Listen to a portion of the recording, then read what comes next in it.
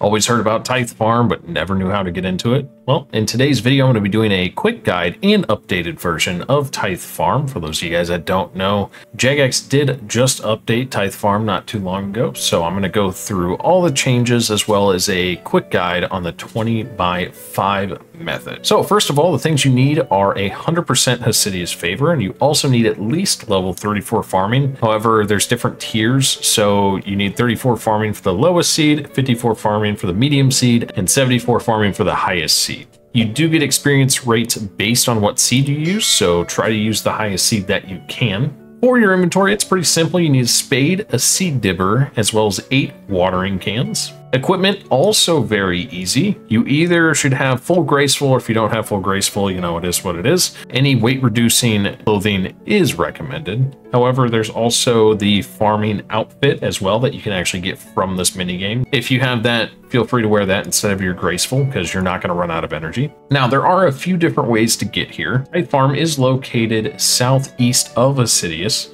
So one way to get here is if you've been here before, just use your teleport. You can also use a Xeric's talisman. This is the easiest way to get here besides the grouping teleport. You can also use memories as well or Book of the Dead if you want to do that. The other way, if you don't have any of that unlocked, is you could just walk from Port Piscarilius if you really want to and just go all the way south. But that will take quite a bit, but you should only have to do that once since you'll get the minigame teleport once you get there. So once you get here, you're going to have to talk to the farmer. And once you go through and talk to the farmer, you'll be able to walk over here and grab some seeds.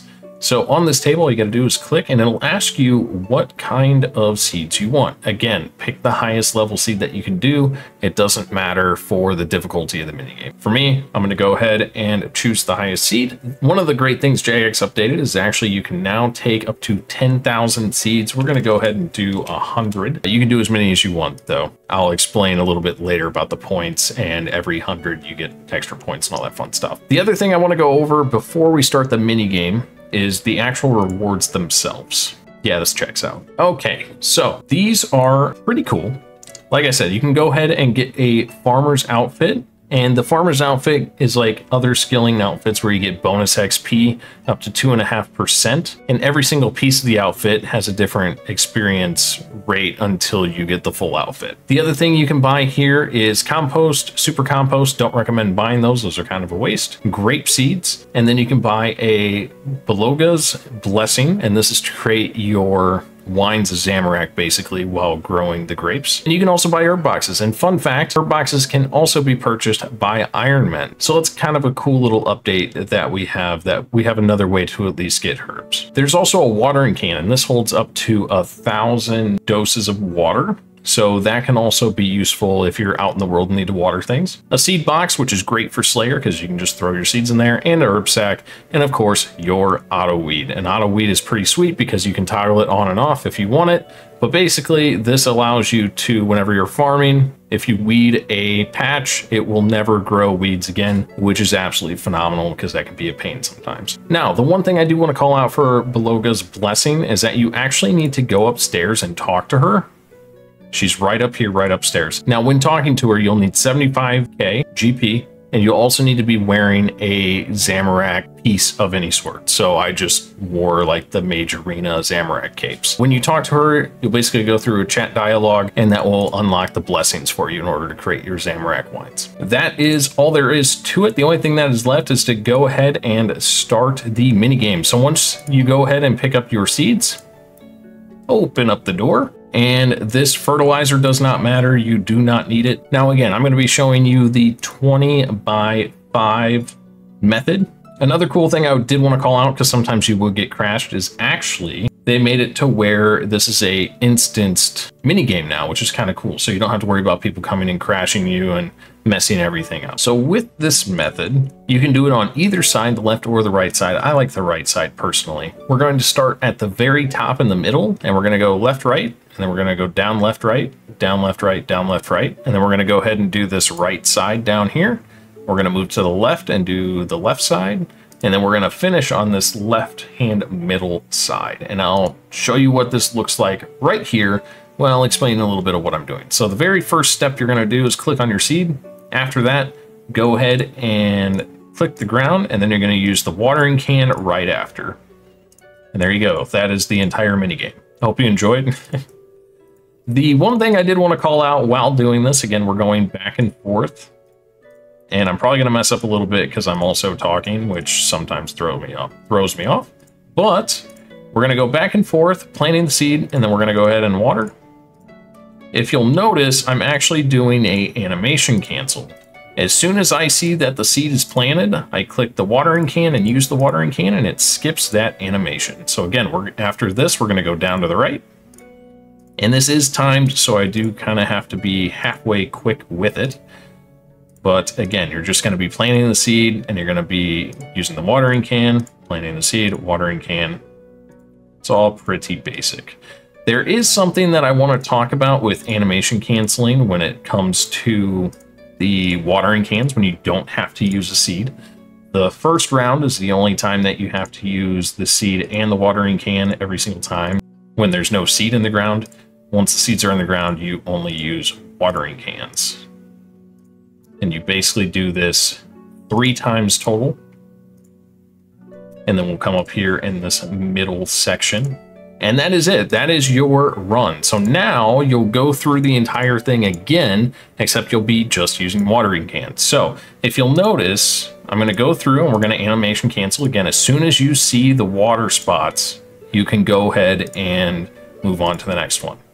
Now, I'm going to show you something that nobody else has really talked about with in their YouTube videos with animation canceling is let's say that I'm going to choose the very first watering can here on this next one.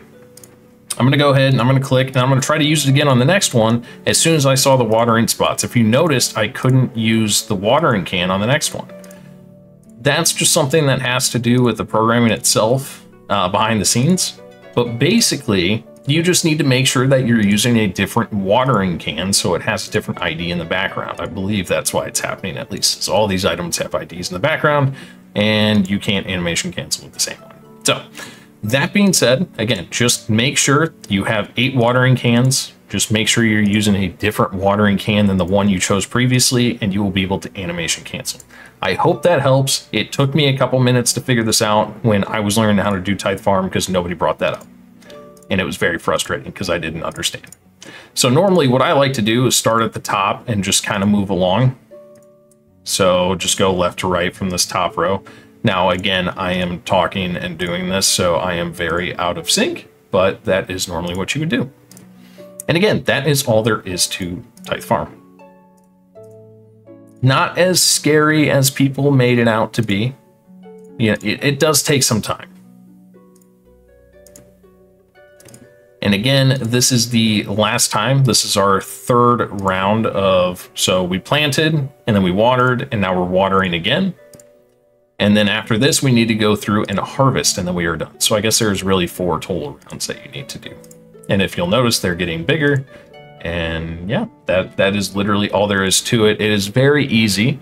Uh, the very first time you do it, you may mess up. And then after that, I guarantee you'll be solid. If you have any issues, it's probably with the animation cancel, but again, it's super easy. Just make sure you're using a different watering can than the one that you previously used, and you will be good to go.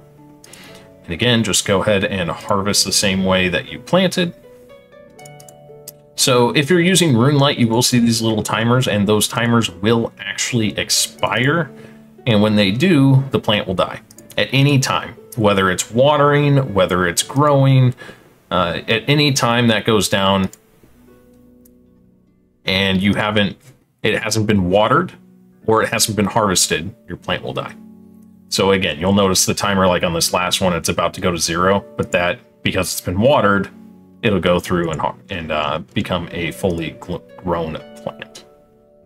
So with that being said, that is literally all there is to it. I am gonna go ahead and, oh, when you're done, also, make sure to fill up your watering cans before you start planting your seeds. And there's a watering barrel right here. So I'm going to go ahead and do another three rounds of this so I can show you guys what it looks like when you go and turn in a 100 fruit. So I will see you guys back here very shortly. All right, so as you can see, I have 100 fruits in my inventory.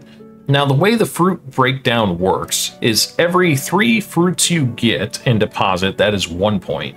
And then every 100 fruits you plant, you get an additional two points. So the max per 100 fruits that you have is 35 points. So as you can see, I am at 67 points right now in the top right. I have 100 fruits. You deposit them in this deposit sack. There are multiple around the Tithe Farm.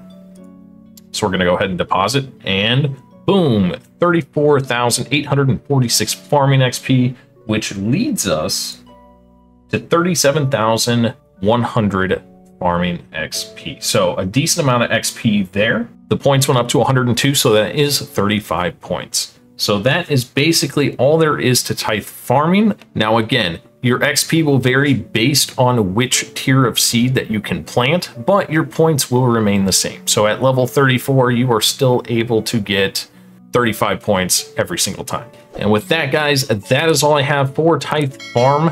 Thank you guys for watching. I hope you enjoyed. If you did, make sure you subscribe to the channel. Leave a comment in the comment section below. Also, if you have any questions, leave them in the comment section and I will answer them the best of my ability. And I will see you guys in the next one. Peace. Turn up the summer vibes. Get off your phone one time, come outside. Cause we all here chilling. Yeah, it's the same old, same old, same. No, we don't play no, play no games. Oh, they wanna talk, talk, talk, talk, talk. Why they gotta hate on, hate on me? Damn. But I ain't not tripping. I'm fly as a pigeon. This girl's been nine.